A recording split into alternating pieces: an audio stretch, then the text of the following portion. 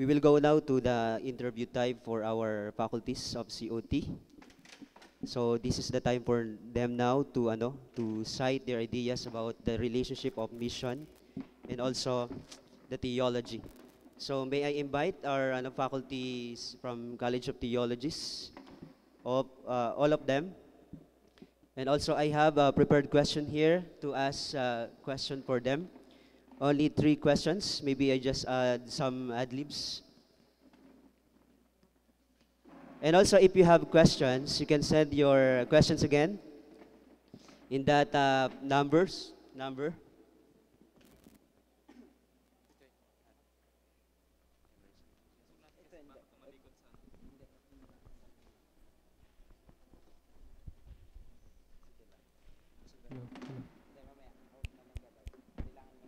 Mic, test.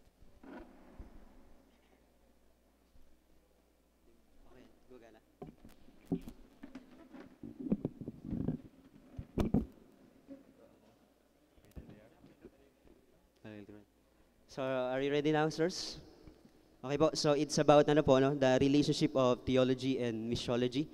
So, this is our, our opportunity now to know the, the ideas came from you. And maybe to go directly because the time is not, ano, not so, so long. I will go directly to the first question, and this is the first question. And what is the relationship of theology and missiology for you? No, that will be uh, what will be the effect of having a wrong theology in one's mission. So the relationship and also the effects of wrong theology in one's mission. Well, since the microphone is uh, given to me, I'll uh, give the first answer. Uh, basically, the, the theology that we have must be uh, seen in us. Okay? Our understanding of who God is must be reflected in the way we live. No matter what kind of technique, no matter how enthusiasm you are, no matter how uh, desirous you are to go out unless the, the effect of that redemption given to us by God is being seen and revealed into our lives, then our, our work will be in vain. Because basically, what we are telling people are the things that Christ has done to our lives. It is not the things that Christ has done to others. What did Christ has done to your life? Then that then we become a witness on what Christ has done to our lives. So it must be seen first in us. Then it, we go out and tell others that this is what God has done for us. Then God will do the same to you if you accept Him. Okay, thank you, Pastor Molina. Um, I think Ryan has specified it very clearly this morning uh, concerning uh, theology, the relationship of theology and mission. Practically speaking, for me, theology is knowing Jesus.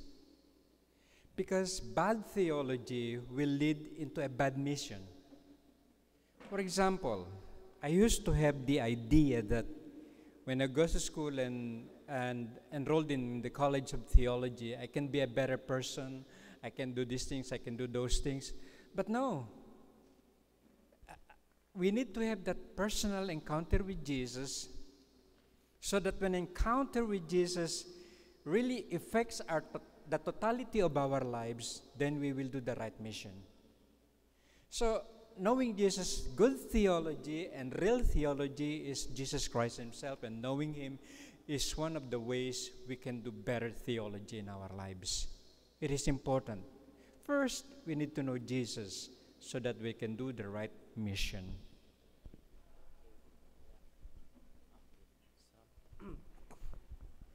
Uh, first of all, I would like to uh, praise God for making this church as um, depository of His truth in the last days. You know? uh, we have been uh, informed by our readings that um, uh, God has endowed this church a deeper knowledge of truth. Do you agree with me? Because in the previous times, um, we have read from the Bible that um, there are many, even prophets who preceded us, who endeavored to understand the whole truth. But God said those truths are reserved for the last days.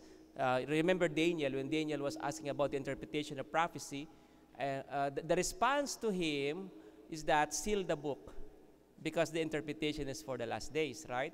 Whe- When the disciples are asking Jesus about uh, the time of God's uh, plan to establish His kingdom, Jesus said, It's not for you to know the details and all those things that God has appointed. Uh, even the reformers uh, failed to understand much of the truth that we have known today.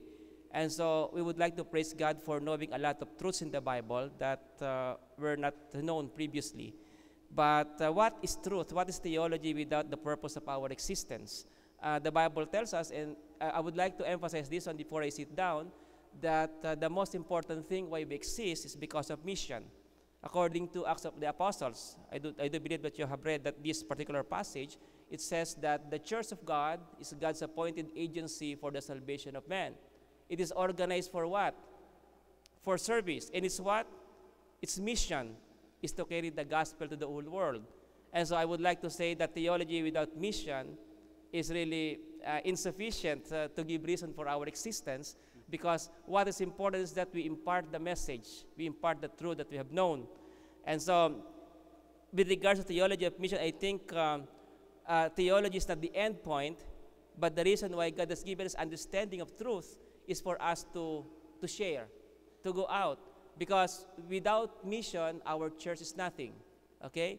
Without mission, even our institutions are nothing. AUP has no reason to exist without mission, and so as all our local churches. As I would like to encourage our pastors. It is nice to read theological books, nice to read biblical studies, and all of those things. But if you fail to propel our members, to encourage our members to do mission for God, I think uh, we have not reached our purpose of why we are here. And so remember, mission is our lifeblood. This is the this is the essence of our existence, ano? and that's why we keep on emphasizing the importance of mission. Thank you, Pastor. Theology and missiology are connected with each other. You cannot actually separate one from the other, they always go together. Theology is our study and our knowledge about Him, to know Him, and to know His purpose in our lives, and that is missiology. And so, knowing Him and His purpose, that's the relationship of theology and missiology. As I used to say, uh, God called us. God, who is our Creator and our Savior, called us, the remnant church. As I used to say, the Seventh day Adventist church is the prophetic church, the church in prophecy with a prophetic message that we need to communicate to the world. And that is what we call the last warning message, as we believe and as we learned from the book of Revelation. And also from this book, we know that we have our prophetic mission. And so, a prophetic church with prophetic message and our prophetic mission, called by Him who is our Creator and our Savior. For me, theology is missiology. It is not only connected, but it is one and the same. When I am theologizing, I'm doing mission. When I am correcting your wrong idea in the classroom, that is missiology.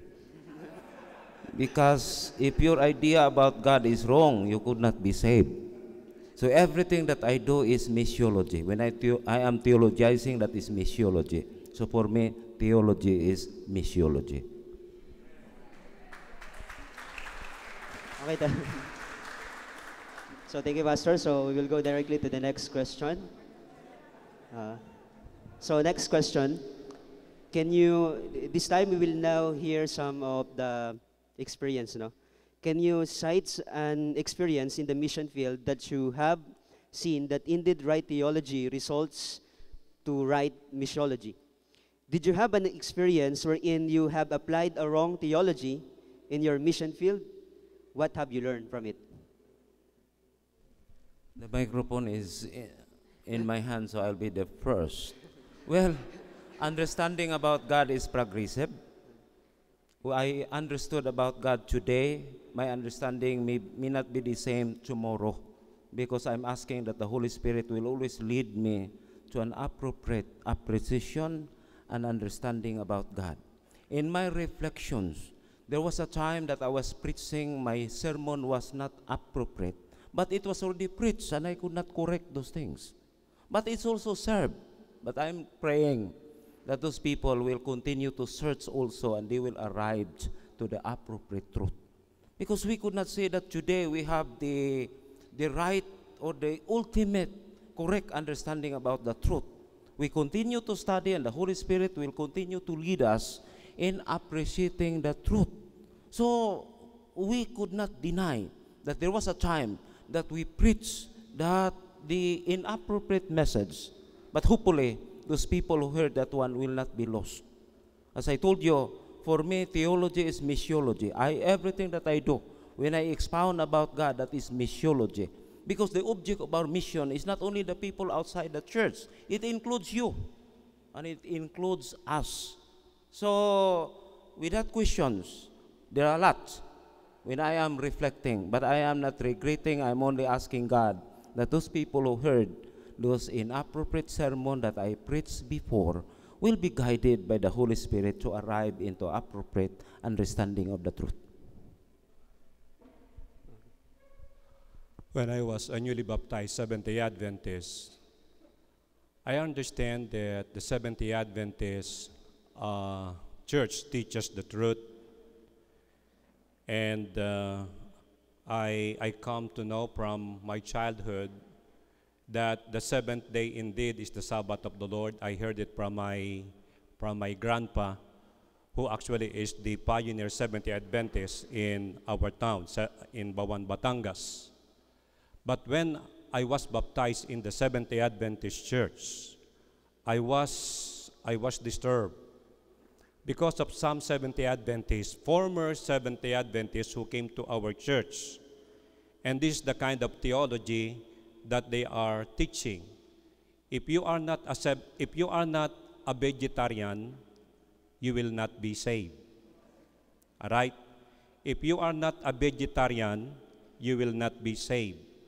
And so early, uh, at the early part of my conversion, I have realized how important actually it is to understand correctly the teaching of the Bible and the teaching of Ellen G. White. Okay?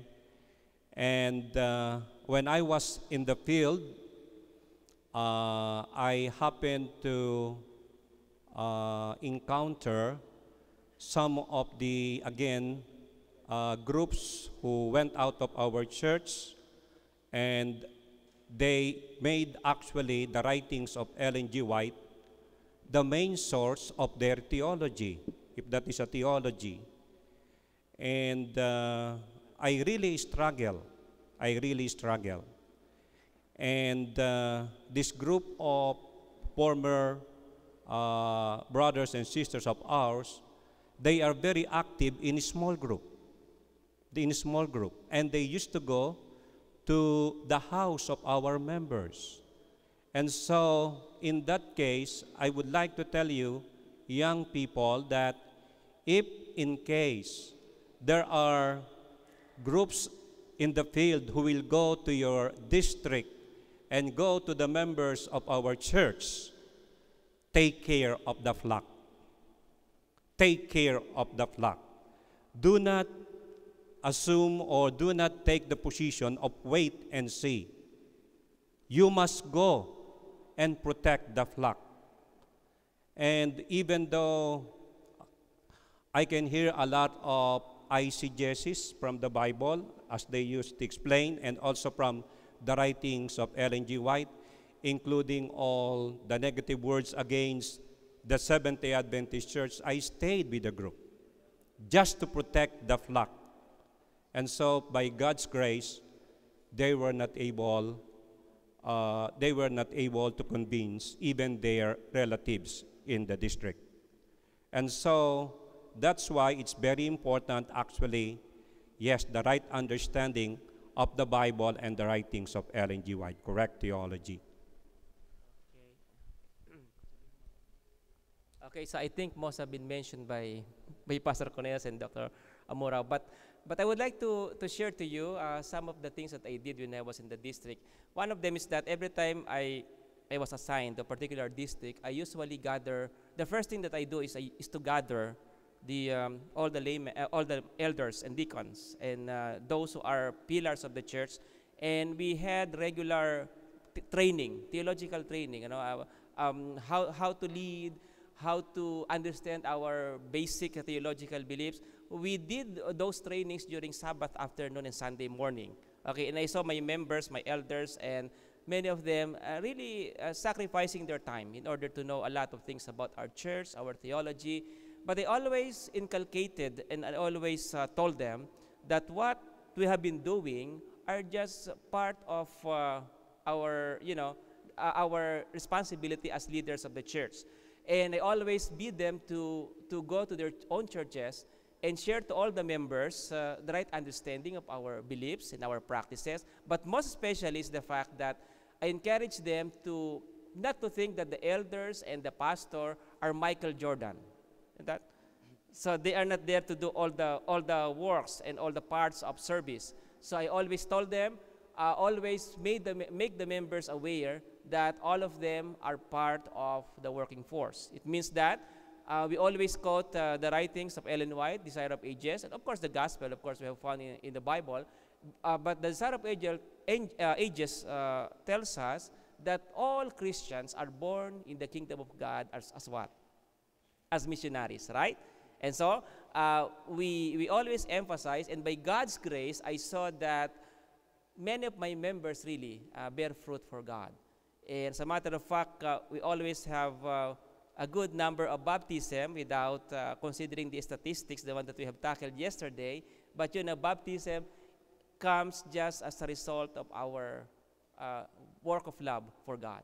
And so I, I saw that when our members are rightly informed and oriented about their uh, privileges of service, uh, I saw that uh, mission and understanding of our theology would be uh, very much basic in the proclamation of the gospel. And you would see your churches grow if uh, they are well acquainted with our teachings and well informed about their privileges of service. And so, um, praise God that our church is growing by leap and bounds because of uh, our understanding of uh, mission. Okay, so praise God for that. Like what uh, Pastor Cornelius mentioned a while ago, we cannot change those mistakes that we had done in the past. We uh, charge it to experience. But today, uh, I would like to share something to you which uh, really bothers me a lot. I kept repeating it to my uh, classes and so also to some of uh, my friends. You know, one of the problems of the Adventist church is the, the going out.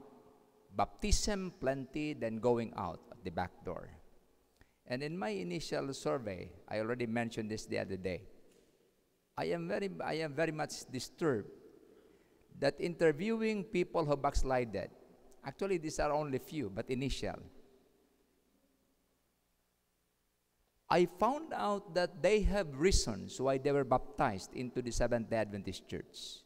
Various reasons. But among those I interviewed, it was only that uh, born Adventist individual who said, I was baptized because of salvation, because of my love for the Lord. But the rest of them said, you know what? Our uh, the, the elder used to, to bring me to church, and one time he told me, since I have been going to church for long, I need to be baptized. So I, I was baptized. And one said, you know, because my parents were baptized, so I was baptized. Also, my friend was. What is the implication? What is the message of this to us? In other words, probably, probably these are the probabilities. You know, in research you have the probabilities. It is possible that we are baptizing people who are not converted. We are baptizing people who have learned probably some of the doctrines, but they have not in they have they do not have a real encounter, a personal encounter with the person with the Savior. So what does it mean? What is what does it imply? I think, you know, from here, because we are the ones producing pastors, we need to be very careful in, in teaching you of the right theology. And I think those people in the field should also understand that they have to shift a paradigm. If this is the kind of people that we are producing in the church, then we are having, we're giving them a wrong theology because basically a person is baptized because of his relationship as a response to his relationship with Jesus. Um, let me bring your attention to three situations. One is um, when I took theology. Um, I have a bad connotation during that particular time because I wanted to finish education, particularly college education. Um, my parents were poor, right? So they cannot finance my education. So when the Seventh day Adventist preacher came to our town, there was a promise that I will have scholarship. It's really bad. But back in my mind, what's the goal? To obtain college education without really knowing the Lord. So I have to struggle for the next five years concerning this. Many times in my in my life, I have asked the question, Lord, why do I keep changing my mind when it comes to really working for you? Sometimes I want to wear white uniform. Sometimes I want to be like somebody else and not really focusing on the right direction. So, as I have stated a while ago, if you have reached that, if you doing you're doing this because of your bad objective, because of your bad connotation in mind, you will end up to nothing. A second point was I can't remember when I was in college. Um, we work on this what we call church manual. I can't remember. It was only after graduation that I, I really, uh, no, two years after graduation actually, that I started to browse the church manual. Then suddenly I was assigned in a church, and I was told that I will be the chairman of the board, right? The church board. I said, where in the world do you find it? And I said, I was, I was bereft of that knowledge. I said, wow. It took me several nights and weeks, you know, to struggle with the church manual so that I can do best in managing the church. So that's what I did. And then, uh, I forgot the last one. Uh, come on. uh, all right, start to get old. Um, this is important. The last one is.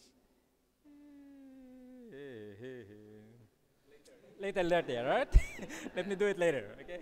Okay, so I see that the, the last question is can be summarized as their last word, but I think I will give it to Pastor Amorao later.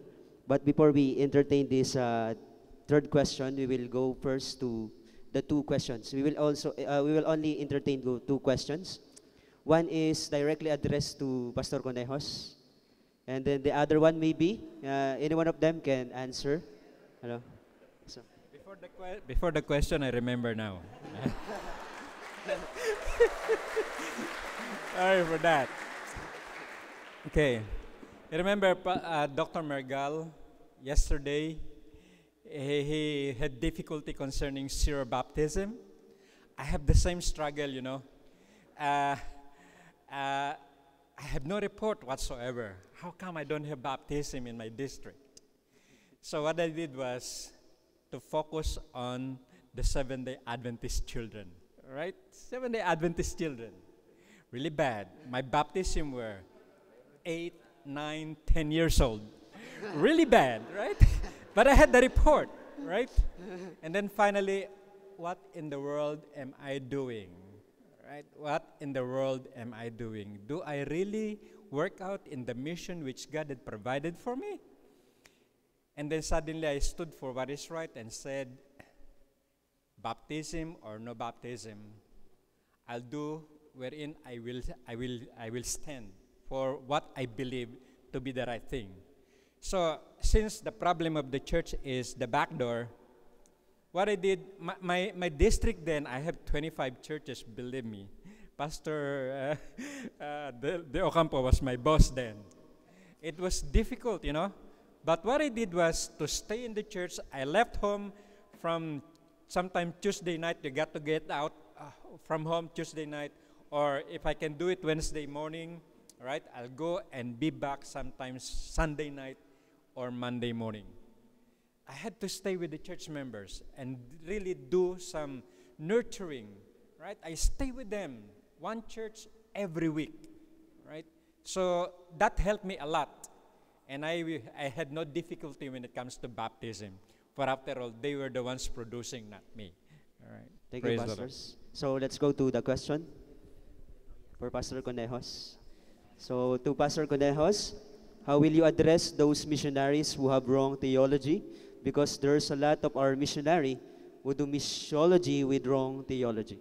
Well, I could not, I don't have au- authority of those who are missionaries in the field, but I have responsibility for you in the classroom.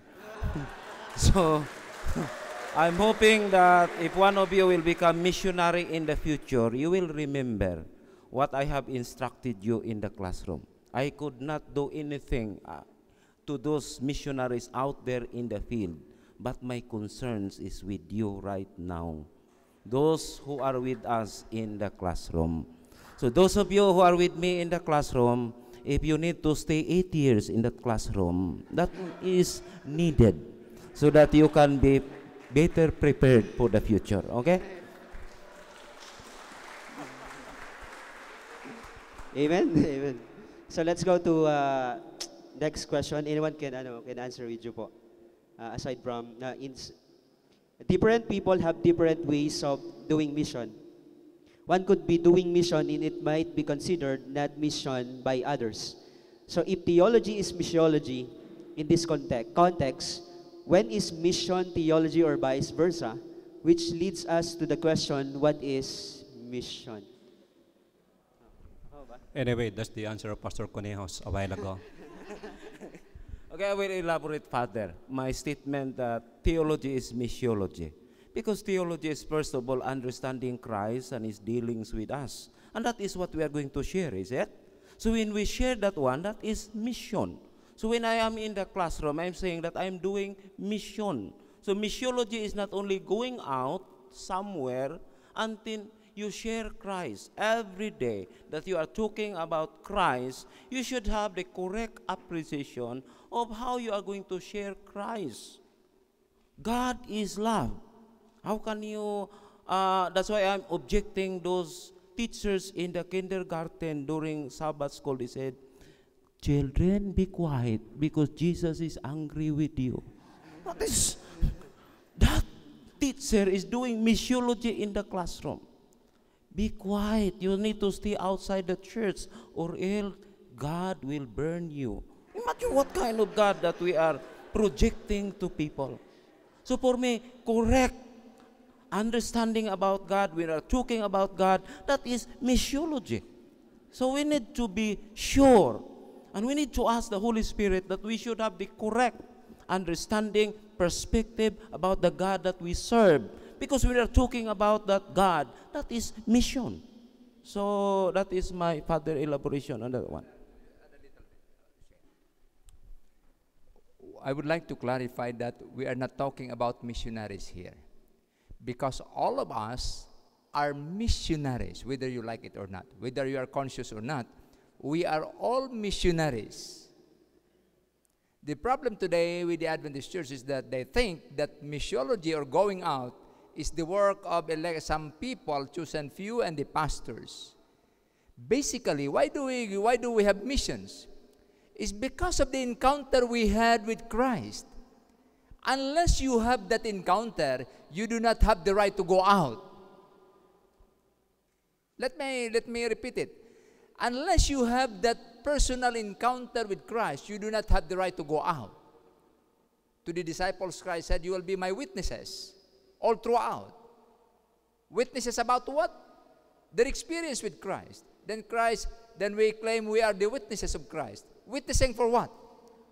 Usually we give doctrines, but we do not say anything what Christ has done to us. Basically, when we go out, we do not tell doctrines. We tell them of what Christ has done to us personally. And to me, that is the best mission. When we tell people about the things that Christ has done to us, then people will see that indeed they would like to accept that Christ who has changed you, and now they, were, they are willing to be changed also. Okay, so before I address this last question, those who send their, ano, their questions, uh, the organizer said that it can be answered, it will be given time this uh, coming afternoon. So last question, and also for the last word for Pastor Amorao. Carrying these lessons, what challenge can you give in studying theology as it shape one's mission?